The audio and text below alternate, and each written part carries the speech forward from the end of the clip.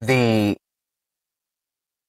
the the security teams have been have been going after the security outcomes for for a while now. Many of their practices they fit the old legacy technologies. And as you start seeing more and more organizations go to a more modern architecture, DevOps, cloud-based, hybrid, you see the security teams are lagging. Now, it could have been okay if they had all the right tools for cloud and, and other areas. But you see how they keep those security teams keep on trying to chase the technology of their organization. And you have two trends. Again, you have two trends that are kind of going against each other. The business of any organization wants to move as fast as possible. Cloud is making it possible, and they're trying to adopt more technologies to move faster. But the security teams, it's not serving the business directly.